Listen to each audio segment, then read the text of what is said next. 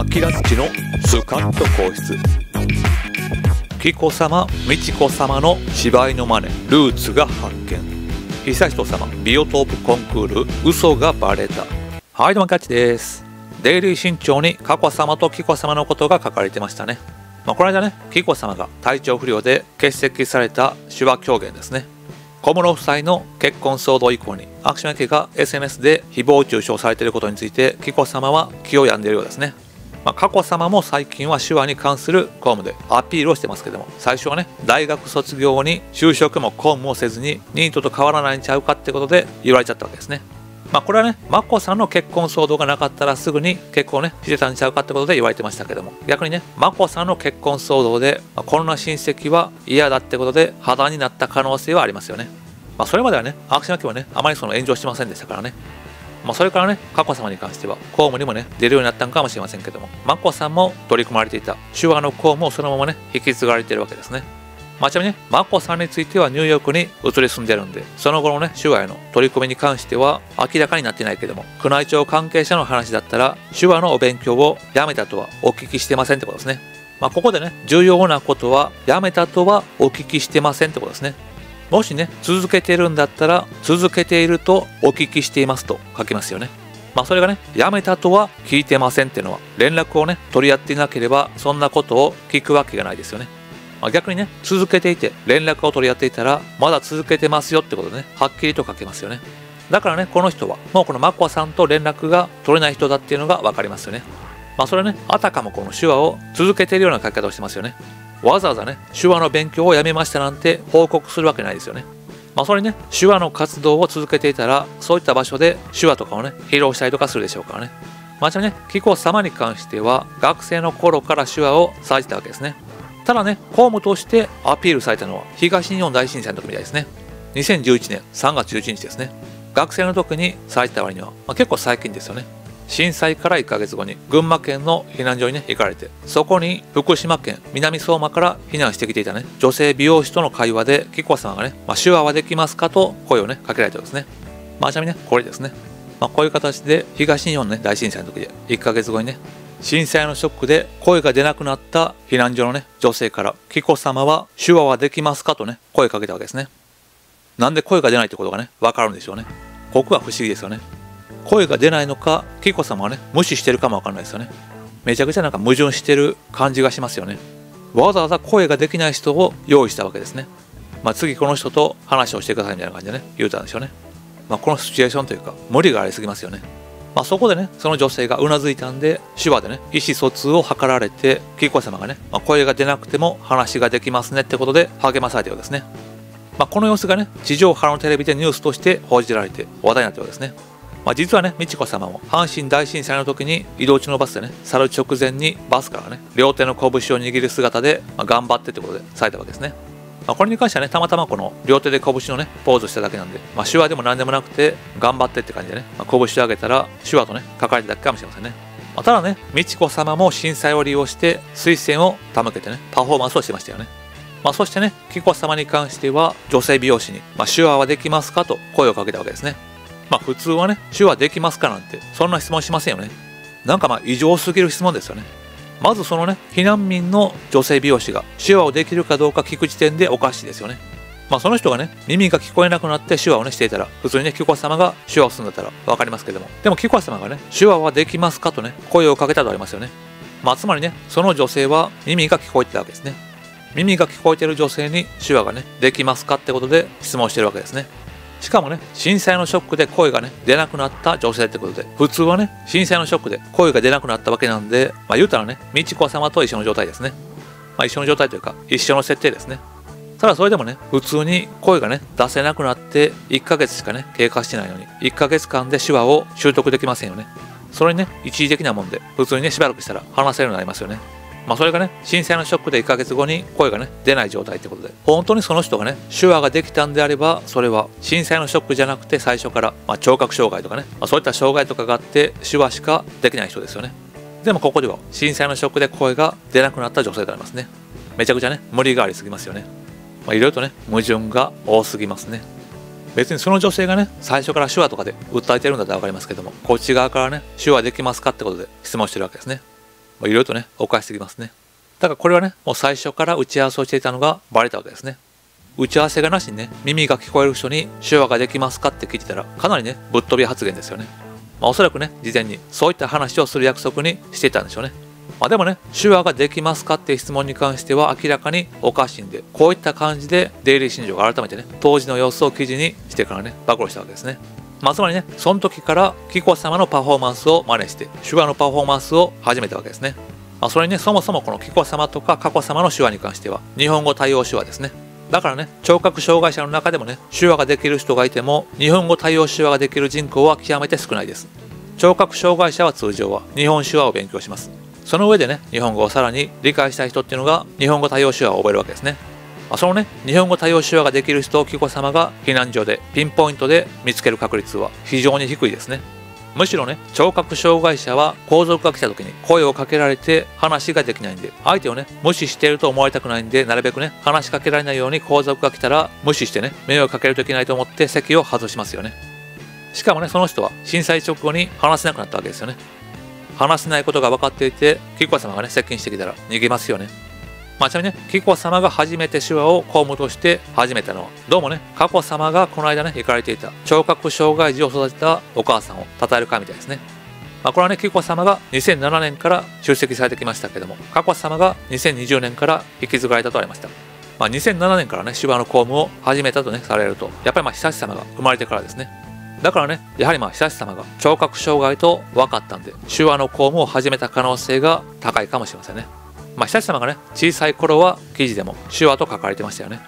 まあ、このパフォーマンスはね、美智子様に習われたんだろうとですね。まあ、そしてね、幼稚園に関しても、美智子様は黒田紗代子さんを3年保育に入園させましたけども、1年だけ会話してね、2年間を学習の幼稚園に行かしたわけですね。まあ、学習院がね、2年保育だから、紀子様も美智子様をね、真似して、久し様を3年保育に通わしたんだろうとですね。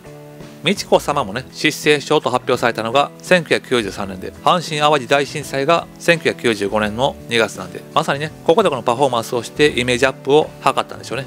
まあ、そしてね、ここでもこの美智子様の私生活が快楽主義的と批判されてたからね、まあ、それらがね、失声症の原因と受け止める国民は当時は少なかったと書かれてました。ただまあこの頃はね、SNS がなかったんで、テレビがね、大々的に仮病だろうと報じなければ、それがね、通用したわけですね。まあ、ちなみにね、まあ、ここでこういう形でね、書いてますよね。まあ、週刊文春とかがいろいろとね、まあ、皇居の自然がね、ある裸とか、いろいろ書かれましたけれども、まあ、こういう形でね、いろいろとまあその月刊式とかで書かれたわけですけれども、まあ、批判されてね、失声症って形で報じられたんで、まあ、それらがね、失声症の原因と受け止める国民は、当時は少なくなかったということで書いてますね。だからこれもね、パフォーマンスだと国民は受け止めたわけですね。まあ、バレたわけですね。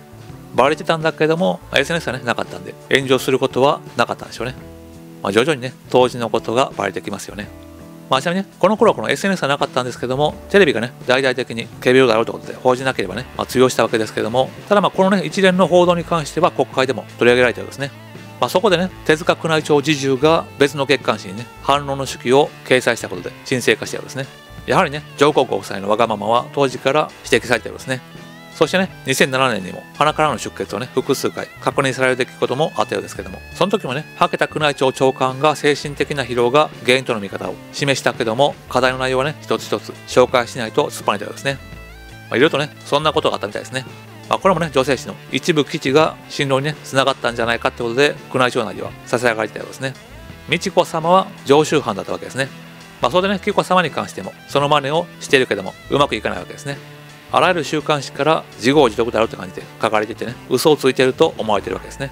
美智子様の時はね、SNS が流行してなかったんで、まだね、それでもよかったんかもしれませんけども、今はね、SNS で炎上しちゃうんで、週刊誌がね、紀子様を擁護したら余計に SNS がね、炎上するっていう逆効果にしかならないですからね。だからね、週刊誌も SNS に嫌われると売れなくなるしね、紀子様に批判的な声とかも増えてきて、逆にね、愛子様を称賛する動きにつながってるのかもしれませんね。まあ、ただね今回のこのデイリー新潮の記事で紀子様が手話の公務をされ始めたのが2007年頃と判明して余計にね久し様の聴覚障害の疑いが深まったし今回の体調不良に関してもただのねパフォーマンスがバレた可能性が深まりましたね。まあ今年はね久し様の大学進学に向けてどうなりますかね。ちなみにね昨日はアクション様とね久し様がビオトープのコンクールに出席をしてましたね。久様に関しては育てる環境で工夫しているところはありますかとかね、ビオトープの広さはどれぐらいですかって感じで、まあ事前にね、この質問しなさいって感じでの質問ですね。トンボがね、好きですとかも、カブトムシの研究を聞いて、トンボが好きですってことね、話されてましたからね。事前にね、用意した質問しかできないんちゃうかってことで思っちゃいますよね。まあせっかくね、まあ、この賢く見せるチャンスですよね。